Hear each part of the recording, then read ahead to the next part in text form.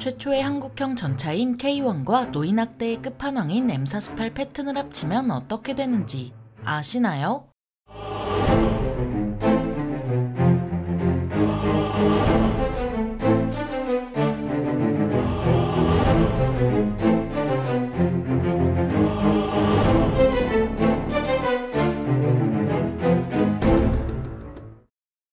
안녕하세요. 지식 스토리입니다. 이번에는 K1과 M48 패튼을 합치면 어떻게 되는지 알아볼 텐데요. K1과 M48 패튼 모두 유명한 전차인 만큼 따로 소개할 필요 없이 본론으로 들어가도록 하겠습니다. 일단 두 모델 모두 주력 전차라 차체와 포탑을 서로 바꿔도 큰 문제는 생기지 않습니다. 게다가 이런 식으로 구형 전차와 신형 전차를 섞는 잡종을 만드는 시도는 현실에서도 있었는데요. 바로 M60 차체에 M1의 포탑을 얹은 M60-2000이 있었죠. 제네럴 다이내믹스는 는 기본적으로 잘 만들어진 M60을 개조해 21세기에 맞는 신형 전차로 개량할 수 있을 거라 판단했습니다. 물론 M1을 운용하는 미군이 이 신형 전차를 도입할 리는 없고 고가의 주력 전차를 도입하기 어려운 해외 개발도상국을 대상으로 했습니다. 당시에 도태 시기가 임박한 M60을 운용하는 국가들이 많았던 덕에 제네럴 다이내믹스의 판단은 틀리지 않았는데요. 다만 주요 고객이었던 튀르키예와 이집트 모두 M60-2000을 도입하지 않았고 결국 끝내 고객을 찾는 데 실패하고 말았죠. M60-2000은 구형전차와 신형전차를 합치는 건 양날의 검이 아니라 잡종이라는 것만 증명하고 말았습니다. 먼저 튀르키예는 이스라엘이 M60을 마개조한 사브라를 선택했고 이집트는 미 정부의 집요하게 로비한 덕에 M1A1을 도입할 수 있었습니다. 이같이 튀르키예와 이집트는 굳이 새 전차를 놔두고 잡종을 선택할 이유는 없었는데요. 다만 한국의 경우는 이야기가 좀 다르죠. 한국군이 M48의 퇴역을 윤허하지 않는 이유는 수백 대에 달하는 전차 공백을 채울 만큼 K2를 도입할 수 없다는 현실적인 이유 때문입니다. 국방 예산이 59조 원에 달해도 이곳저곳 나갈 때가 많고 결정적으로 K2 수출이 성사되면서 생산량이 수출량을 따라가기 벅찹니다. 그래서 어차피 M48의 퇴역을 윤허하지 않은 김에 아예 K1과 섞어버리는 것도 하나의 방법이 될 수 있는데요. 이러면 새로 K2를 뽑는 것보다 싸게 기갑 전력을 강화할 수 있죠. 먼저는 M48의 차체에 K1의 포탑을 얻는 이란과 K1의 차체에 M48의 포탑을 얻는 이안을 차례대로 살펴보겠습니다. M60-2000만 봐도 알 수 있듯 구형 전차의 차체에 신형 신형전차의 포탑을 얻는 건 문제가 되는 구성은 아닙니다. K1의 포탑을 M48의 차체에 얹으면 준수한 방어력은 물론 120mm 활강포라는 강력한 화력까지 얻을 수 있는데요. K1의 120mm 활강포는 K276 날탄을 기준으로 두께 600mm가 넘는 강철을 관통하는 강력한 화력을 자랑하죠. 문제는 전차의 심장이나 다름없는 엔진으로 1200마력 디젤 엔진이 탑재된 K1과 달리 M48은 750마력 디젤 엔진이 탑재되어 있습니다. 이 때문에 450마력이나 손해를 봐서 그 무거운 K1의 포탑을 얹고 높은 기동력을 발휘하기는 어렵습니다. 그렇다고 M48의 차체에 K1의 엔진을 우겨넣자니 가성비가 너무 떨어지는데요. 그래서 엔진 교체 없이 후방에서 운용하는 게 K1-48 전차를 가장 잘 활용하는 거죠. K1-48의 기동력은 뒤떨어지지만 K1의 포탑에서 발휘하는 강력한 화력으로 후방에 든든한 기갑 전력이 될 수 있습니다. 북한군이 후방까지 공수 장갑차를 전개할 능력은 없다 보니 후방에서 만날 수 있는 북한군이라야 다양한 루트로 침투해온 보병뿐입니다. 물론 물론 보병이 RPG로 무장했으면 좀 위험하지만 그마저도 K1-48의 전면 장갑 앞에서는 폭죽에 불과한데요. 게다가 후방에서 굴리는 만큼 날탄보다 고폭탄을 적재해 놓는 게 훨씬 효과적이죠. 시가전에서 북한군이 건물로 숨어버려도 건물째로 날려버리면 북한군에겐 항복이라는 선택지만이 남게 됩니다. 게다가 기동력이 뒤떨어지는 것도 도로나 철도로 이동하면 그만이라 문제라고 하기도 어렵습니다. 물론 도로를 무한궤도로 이동하는 건 비효율적이라 주로 철도를 이용해 후방 곳곳에 전개할 텐데요. 심지어 K K1-48이 퍼지더라도 고정 포대로 활용하면 그 가치가 바래지는 않죠. 이런 K1-48의 가장 큰 단점은 차체와 포탑이 서로 다른 부품을 쓰기 때문에 군수 지원 부담이 늘어난다는 점입니다. 차체가 망가지면 M48의 부품을 받아와야 하고 포탑이 망가지면 K1의 부품을 받아와야 하는 어처구니 없는 상황이 필연적으로 발생합니다. 그래서 이 문제를 해결하는 가장 좋은 방법은 K1-48의 포탑을 재설계하는 거지만 비용이 많이 든다는 무시 못할 단점이 있는데요. 그래도 K1-48의 포탑 장갑 장갑은 M48의 포탑 장갑을 잘라 와서 용접하는 방법으로 값싸게 땜질할 수는 있죠. 1200마력 디젤 엔진이 탑재된 K1의 차체는 전면 장갑이 400mm에서 600mm 수준의 측면 장갑이 RPG-7의 기본 탄두를 완전히 막아내는 아주 준수한 방어력을 보장합니다. 이런 K1의 차체에 M48의 포탑을 얹으면 120mm 활강포가 105mm 강선포로 downgrade 되는 화력 손실을 겪을 수밖에 없습니다. 한국군이 운용하는 M48은 원래 90mm 포를 장비했지만 105mm 포로 업그레이드 돼서 북한군의 구식 전차쯤은 상대할 수 있는데요. 다만 M2020 같은 신형 전차를 상대로는 우위를 점하기 어려울 가능성이 크죠. 게다가 M48 포탑의 전면 장갑은 178mm로 K1 차체보다도 얇아서 RPG-7 같은 무기로부터 안전하지 않습니다. 그래서 이 문제를 가장 싸게 해결하는 방법은 포탑에 공간 장갑을 적용하는 거지만 전장에는 RPG-7만 돌아다니지 않습니다. K1의 기동력을 살려 북진할 거면 공간 장갑보다는 반응 장갑을 둘러 전차포에 대한 방어력도 챙기는 편이 나은데요.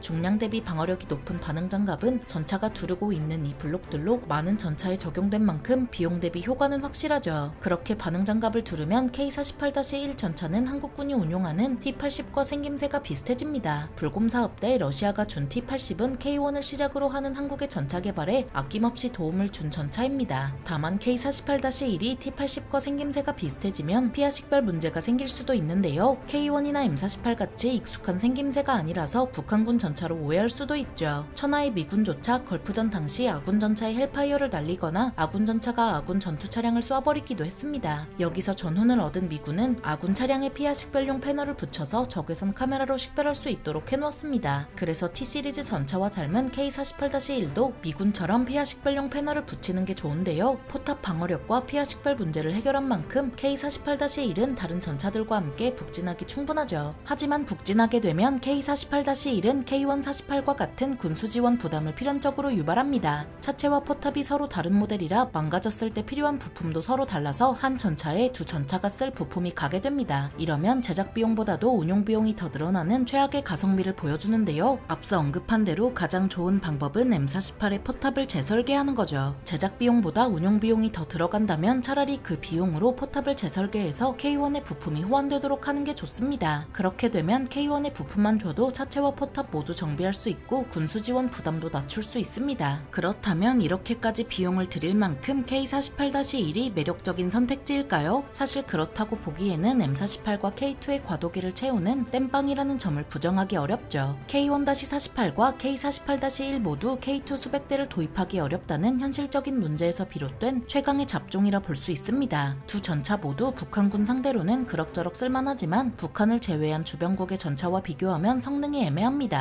튀르키예나 이집트가 M60-2000을 선택하지 않은 이유도 바로 여기 있을 텐데요. 특히 튀르키예는 사브라를 선택했다는 점에서 잡종보다는 업그레이드된 순종이 낫다고 여긴 걸 알 수 있죠. 그래서 K148이나 K48-1을 제작하느니 그 비용으로 M48을 한 개까지 마개조하는 게 훨씬 낫습니다. 이미 한국군이 여전히 운용하고 있는 M48 수백 대는 업그레이드를 거쳐온 모델이고 가장 최신형은 side skirt까지 적용되어 있습니다. 튀르키예가 도입한 사브라는 M60의 120mm 활강포와 신형 광학 장비는 물론 포탑 전체에 복합 장갑과 차체 전면에 반응 장갑을 두른 마개조 모델인데요. M48도 이와 마찬가지로 120mm 활강포로 교체한 뒤 포탑 전체에 복합 장갑을 두르고 차체 전면에 반응 장갑을 두르면 한국형 사브라를 어렵지 않게 만들 수 있죠. 하지만 M48은 M60보다 엔진 출력이 떨어져서 M60과 같은 마개조가 어렵다는 한계 때문에 엔진까지 교체하지 않는 한 한국형 사브라를 만들기는 어려운데요. 그래도 구형 무기와 신형 무기를 섞은 잡종보다 순종 을 도입하거나 업그레이드하는 게 실질적인 전력 증강에 도움이 됩니다. K1과 M48 패턴을 합치면 어떻게 되는지 알아봤는데요. 영상이 유익하셨다면 구독과 좋아요 부탁드립니다. 감사합니다. 지식 스토리였습니다.